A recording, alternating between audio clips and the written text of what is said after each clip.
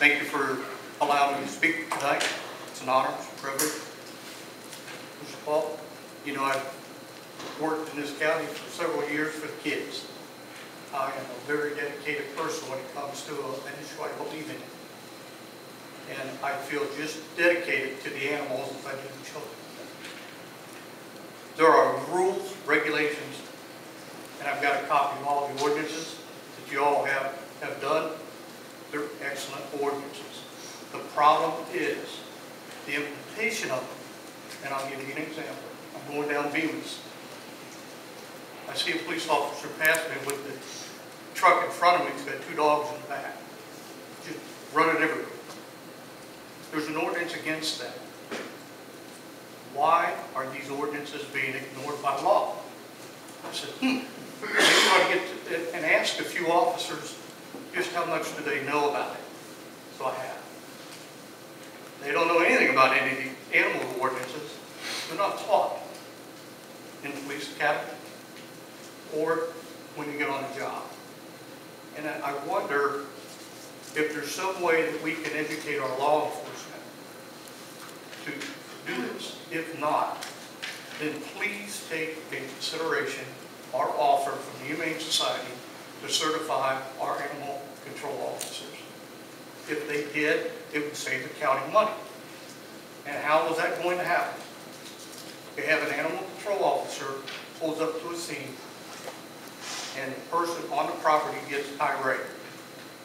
They have to back out, call the sheriff's department, get a backup. The officer shows up, so now we have wasted valuable time. The animal control officer and the other officers could have been off doing whatever they needed to do. If the animal control officer is certified, then he or she could act underneath the law. So I think it's imperative that we look at saving money. And I know you all do. You look at the budget very tightly. I, I believe, I sit here the other night, or the, uh, the last time I was here, I sat through the budget meetings. I see the budget. And I thought, how in the did they come up with this figures? And it's, it's astronomical. It's beyond my comprehension. But I ask you to please reconsider the animal control officers being certified, post-certified. Uh, Should it be under the sheriff's department? I don't know. Should it be underneath the code enforcement? I don't know. That's your job. That's not my job. Think our animals in the community deserves the same rights as my children, myself, or your animals. If your animal is at the shelter, it should receive the same courtesy that you would give it at home.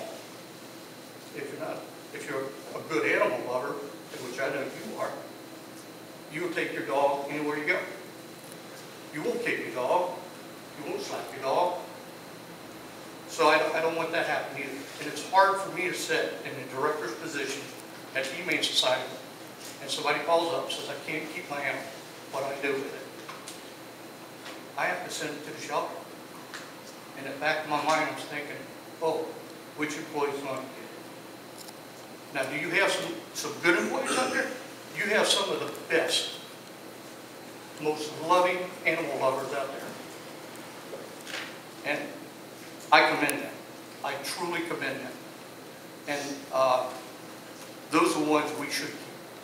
The ones that are not doing their job or mistreating an animal, please terminate them.